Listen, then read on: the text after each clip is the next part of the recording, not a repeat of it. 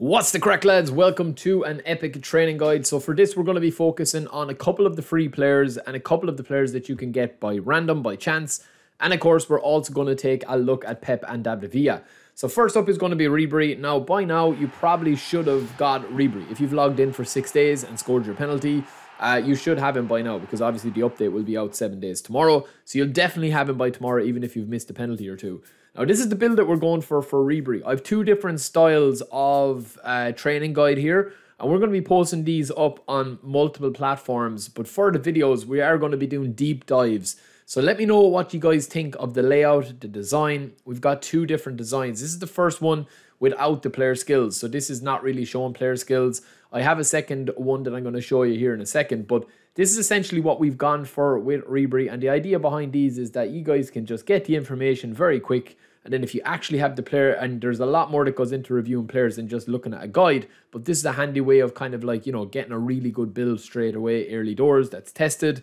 And also we can give a bit of context to that and review it a little bit better in the big videos and the big reviews like Ronaldinho and Honus. Now, David Villa and Pep Guardiola are actually going to cost you coins. This is the version of David Villa that we've gone for here. And we're going to be giving him the booster agility plus one. If you can train him as a right winger, brilliant. If you can't, that's fine as well. You don't really need it if you're playing him as a CF or a left winger. He already has those positions by default. There's the breakdown of his stats. Feel free to pause the video. Now, also with Pep, we did sign Pep. He is only one pound or I think like 89p, depending on your region and your currency. He's not that expensive. Now, I was initially impressed with Pep, but lads, he's been really struggling the last couple of days for me or the last couple of games. I think this build is probably the best for him, and there is the skills brought in as well. As I said, I have a couple of different um, layouts that I'm going to look at, right? Um, I might put the skills in under the, the, the the breakdown of the training as well. But let me know what you guys think, obviously, and uh, we will take that feedback in. So whether you prefer the skills being included or not. And then last but not least, we do have three more players in here that are going to be random, right? So Pep and David Villa obviously are going to cost you coins. Ribery you get for free. Uh, it's just a matter of when and not if. But David Beckham, Drogba, and Tony Adams, these are the bills for these. As I said, when we do sign Beckham, when we do sign Drogba, we will do a deep dive with gameplay, you know, their player ID, everything.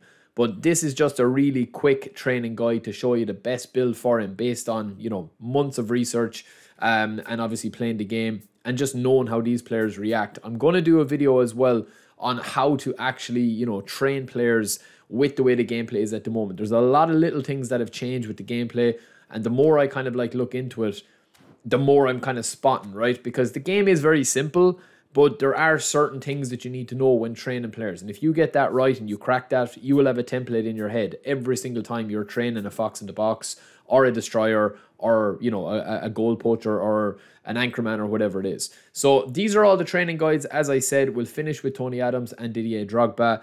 Let me know what you guys think of these style videos. Look, they're short, they're to the point, there's no waffle, there's no messing. And then if there is a player that you guys want more details on, say you've signed Tony Adams, we will have the big deep dive with the video, with the analysis, with the gameplay, with the actual testing in divisions to see how he goes. Because sometimes when you train a card up, it's more about kind of getting the best out of that card instead of him being absolutely insane in everything and having the best stats in everything, you know? So that's what we go into in the bigger reviews. But let me know what you think of these videos, lads, and the layout. Give me some feedback on that.